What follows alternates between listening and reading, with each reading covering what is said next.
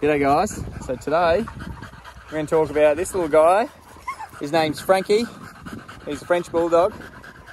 He's almost four and he's been coming to the farm for about a year and a half now. And he is a true farm dog. He just wants to work, work, work and go, go, go. Even though we know he's an affectionate dog, he knows that uh, when we're at the farm, it's, it's business time and he wants to get involved in everything. One of the one of the key things that stands out for me, there's a few actually, but the first one is uh, for such a little dog with little legs, he is fast.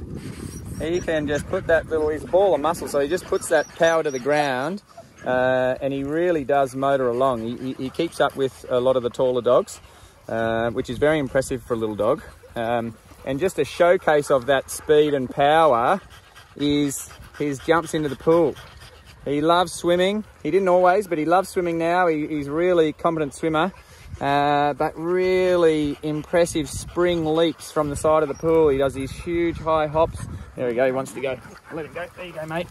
Um, he does these really cool hops where he just launches, pops up into, you know, really high and pops his legs in and it's really cool to watch. He loves swimming, loves jumping in. We love watching him jump um, and you know it's definitely up there with with his most um, notable traits. Hello, buddy. Oh, thank you, thank you. Yeah. Oh, one of the games that we play to to help him grow that confidence in the water is the big Swiss ball in the dam. Um, and you know there's a whole heap of factors that play there, but what we what we're playing on is the fact that they want to be a part of the pack. They don't want to be left behind. And so when they see excuse me. Hey, Bagel, we're in the middle of something here, mate.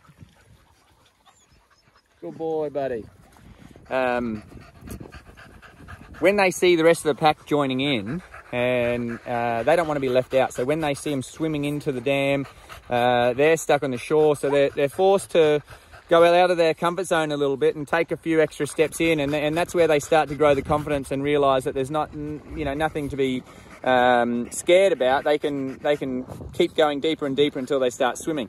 So you know, especially Frankie, he likes to compete. He likes to you know be the first to the ball, or or you know he likes to run quite hard. So to be left on the shore, he doesn't like. So over time, he kept getting a bit more confident, a bit more confident, and um, you know, eventually he starts doing these massive jumps and launching into the into the water. But it, it, it has it goes a lot deeper than just the exercise. There's a lot of uh, you know the uh, social acceptance with the pack and, and being a valued pack member that all plays a part in his motivation to to join in on that game and, and to be competitive with that game. So um, you know a lot of it all transfers across to the other pools as well. So now that he's confident swimmer, he'll he'll jump in uh, all of our uh, pools and dams and, um, you know, gets all the benefits of swimming, especially, you know, dogs later in life.